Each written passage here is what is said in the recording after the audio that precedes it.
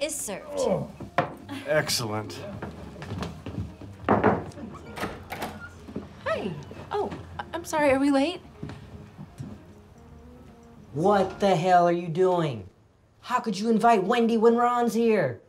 He's gonna wrap her up in his mustache and take her home. We agree that we should invite interesting people for Justin, and Wendy is an interesting person. And I've been telling you for weeks that you should tell her how you feel. Now's your chance. Oh, yeah, that makes sense.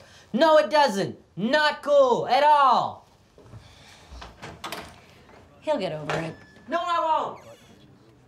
The first course is a Mexican bean soup. Ooh, Dios mío. Are these peppers for consuming? Uh, I wouldn't. They're very hot. I'm gonna give it a try. Mm. Hot. You're very brave. Please, that was one of the tiny ones. This is how you eat it. Don't do that, Tom.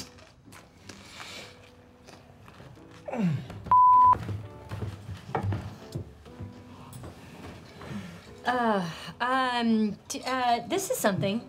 Justin, Derek, and Ben are gay, but often, on occasion, April will have relations with Derek. Right? Crazy stuff. Discuss that.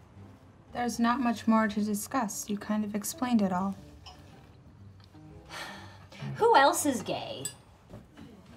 Tom, I need your help. There was a lull. I saw Justin yawn. Please tell me that yawning is a sign of excitement in India or something. Tom, focus! God, you're no help.